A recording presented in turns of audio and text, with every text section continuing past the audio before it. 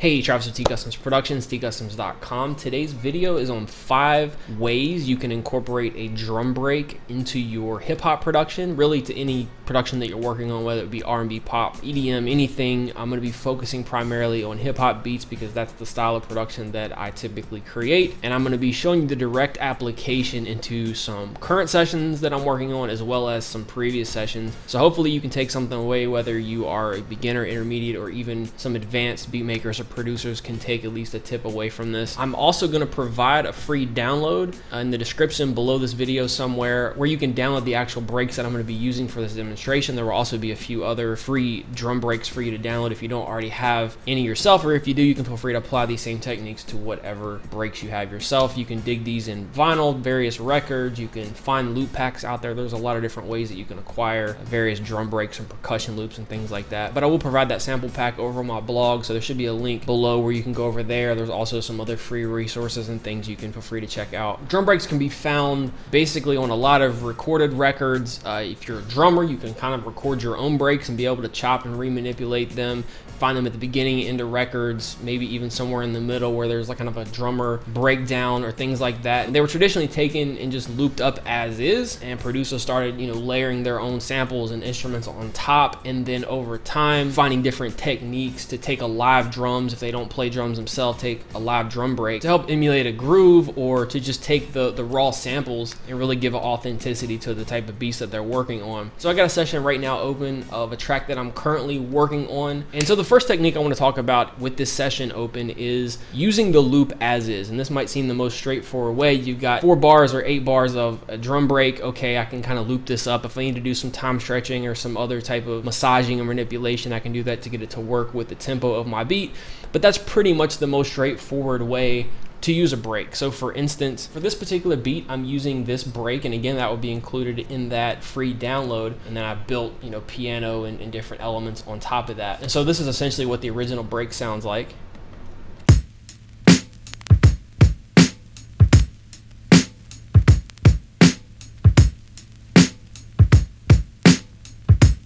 And so when I was creating this beat, I actually wanted something, I would say mid tempo or somewhere in the mid 80s BPM range. This drum loop, as is, without any kind of manipulation, is right at about 79 BPM. There's different ways that you can take a drum loop and kind of shift it if needed to get it closer to what you're working on. You can obviously transpose it. I've talked about before, shifting up will make the track faster, but it will also change the pitch. Sometimes I will use a transpose for drums, but in this case, I didn't want to change the pitch of the kick and snare and hats. I just wanted to make it a little bit faster. And so what I did in Ableton, you can do this in whatever software you're working on, is I enabled some sort of a time stretch. The way that I work usually is I want my primary kick and snare notes to align somewhat on the grid. Obviously, one of the benefits to using a break in many cases is that you get kind of a loose sound, you get a live feel, but I want to make sure that it's at least somewhat synced up with the BPM of the track that I'm creating. In Ableton, basically all I'm doing is I'm creating stretch points or markers and kind of time stretching and shifting my, my main hits on the grid. And so after I did that, this is what this loop with just simple time stretching sounds like with the, the actual beat.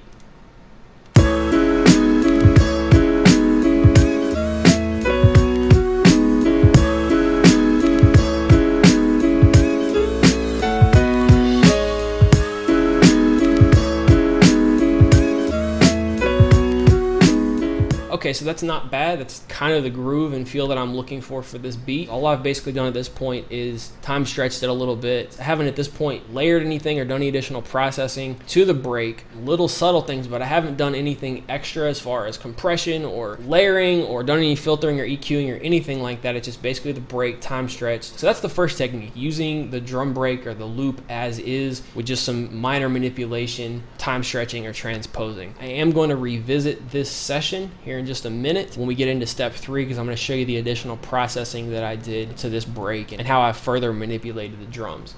Okay, so I've got a new session open now and I'm going to talk about the second technique and that is to actually chop up and rearrange your drum break. So you may like the drum sounds in the break, but you may want to reprogram it. You may want a different swing or a different groove to your hats or the way that the ghost kick comes in. After the first bar or so, this really just repeats over and over. And so these are basically my chop points. This is what I have chopped this break up into. So you really just want all the unique hits in this, whatever particular one hits that you're looking for. Individual kicks, the snares, the hats, the ghost notes and rolls and things like that. So these yellow markers basically represent my chop points and depending on what DAW you're using, there's different ways to chop up. So if you're using Ableton, you can use this method and I've covered how to chop samples in past videos. I'll make sure to link that particular video in the description. So I chop that break into MIDI and if you want to still work in audio, you can chop and rearrange it in audio as well. Sometimes I'll work both ways, but this case, I went ahead and chopped it in MIDI and so now I have all the individual hits and I can trigger them, reprogram them however I want.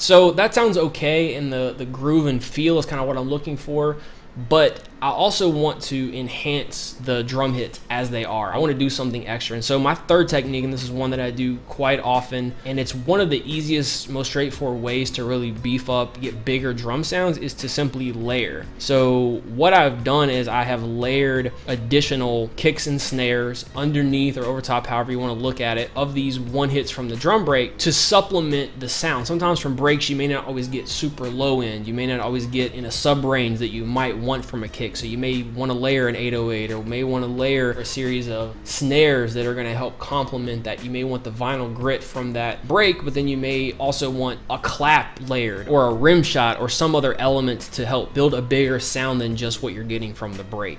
And so what I've done is I found some other sounds. You can take these from separate drum breaks or you may have some various kick and snare sample packs or maybe some go-to sounds that you want to incorporate to really give yourself an extra punch or snap, a bigger sound sound. And so I've pulled some drum samples from some of my various drum sample packs, volume two, three, and four, kind of layered underneath to help enhance what I have already programmed from the break. So next what I've done is I've created two separate tracks. Now you could do all this in the same MIDI drum track here if you wanted to, if you just wanted to add some extra sounds. But I like to have separate tracks. It's just easier for me to check the levels. If I want to make this kick a little more prominent or this snare a little more pushed back than having everything grouped together. And so I just chose to create two separate MIDI tracks. One has a kick in it, as you can see here. This is a kick from one of my drum sample packs. Um, and this snare is from one of my drum sample packs as well. What I did to layer these sounds is I just copied the MIDI information when I programmed the initial break. And now I can just apply that to the additional sounds that I've layered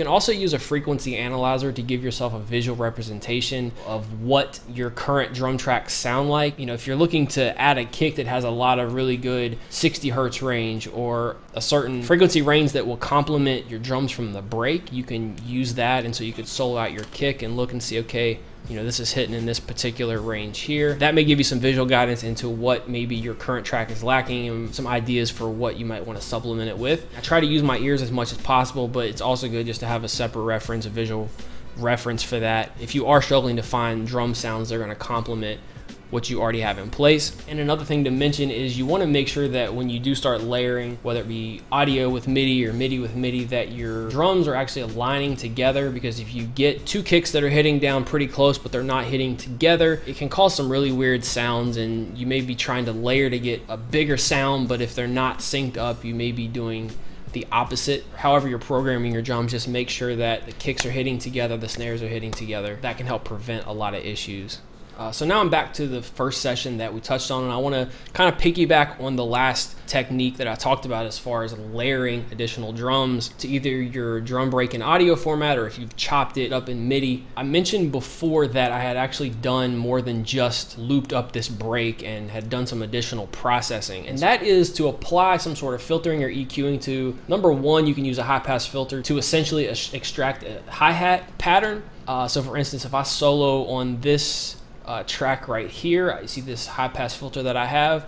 If I disable this and play this back,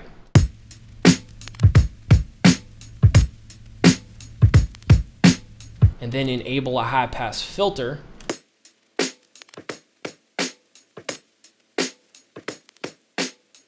And the higher you go on this, the more of the, the lows and mids you're gonna obviously filter out. So you get more of that, that high register, that high frequency range, which in most cases is gonna be your hi-hats, maybe the top end of your snares. So one of my prominent techniques for using a break, I'll filter out a lot of the mid and low and use the hi-hats from that pattern and then reprogram my own drums. So I had multiple steps to finalizing this particular drum track and I still may do some changes to it later. But the first step was to put kind of a mid-range cutoff on this filter. So as you can see, 541 Hertz like I showed in the previous session, I went ahead and also layered, once I had that filter, that cutoff applied, I wanted to obviously add my own drums. Uh, I've got one kick sample from, I believe, my drum sample pack volume 2.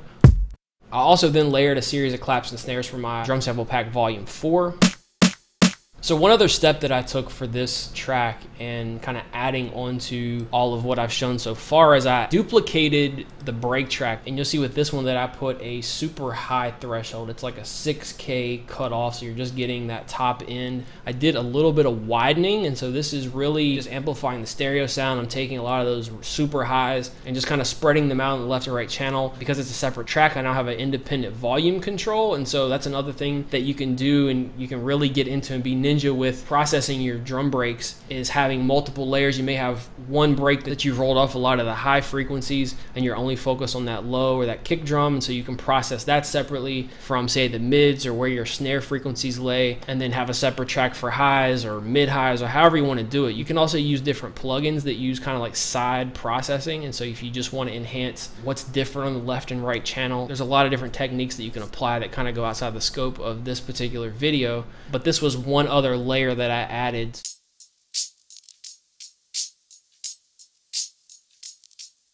And then the way that all that sounds together.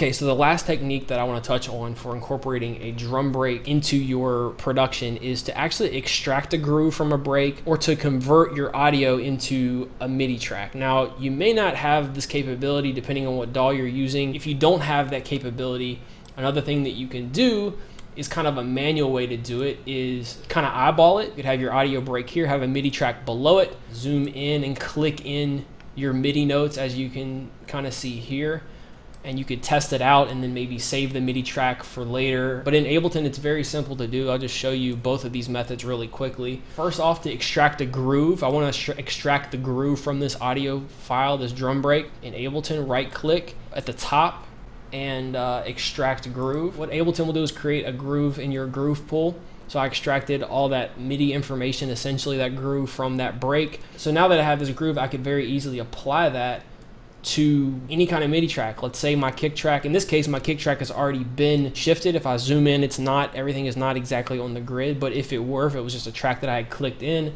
I could very easily just drag over this groove over to this track and it'll say right here that the break one groove has been applied. So that'll allow my additional drums to fit the pocket of that break. And then you can also uh, right click on the audio and convert drums to new MIDI track. And I have a video where I show exactly how to do that in more detail as well.